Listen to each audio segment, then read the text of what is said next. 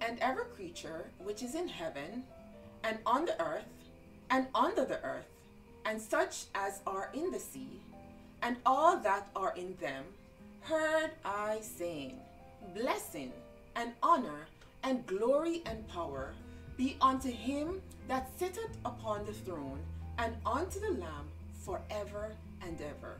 Revelation chapter 5, verse 13.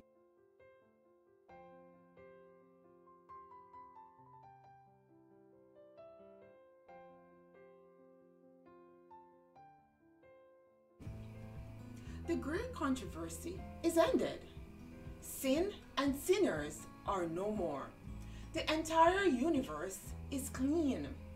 One pulse of harmony and gladness beats through the vast creation.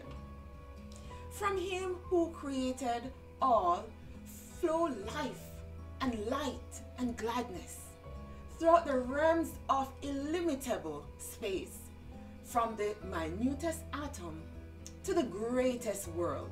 All things, animate and inanimate, in their unshadowed beauty and perfect joy, declare that God is love.